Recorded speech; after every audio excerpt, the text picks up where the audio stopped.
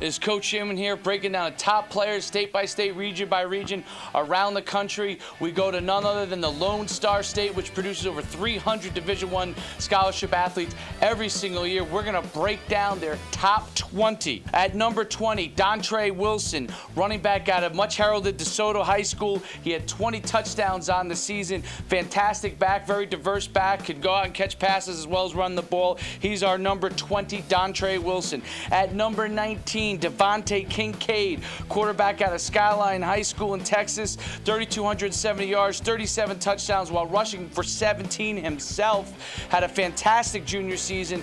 Great prospect. He's a 20 plus offer guy. DeVante Kincade is our number 19. At number 18, JT Barrett, also quarterback out of Rider, Texas, threw for 1,605 yards, ran for 1,521 yards in those wild spread offenses in the state of Texas. He's our number 18, JT Barrett. At number 17, Joseph Glenn, running back out of Giddings High School in Texas, ran for over 1,500 yards as a junior, 24 touchdowns. He's a tough man to bring down. He could totally stretch the field. He's a guy to get into the secondary quick and break it. He's our number 17. At number 16, Kameron Miles, defensive back out of West Mesquite High School in Texas, 85 tackles, four picks on the season. Fantastic numbers as a junior. He's a guy with nice long arms. He can really do a great job of getting in the jam and covering people man to man. He's our number 16, Kameron Miles. For the rest of our top players throughout the state of Texas, please go to nationalunderclassmen.com.